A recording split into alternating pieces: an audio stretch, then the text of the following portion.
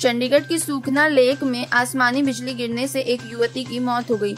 युवती का नाम तमन्ना था, जो कि 19 साल की थी। मृतका डेराबस्सी में रहने वाली थी। अपनी तीन सहेलियों के साथ सूखना लेक घूमने आई थी।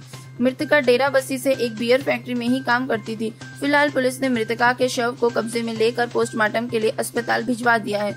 मृतका के परिजनों को भी सूचित कर दिया गया है।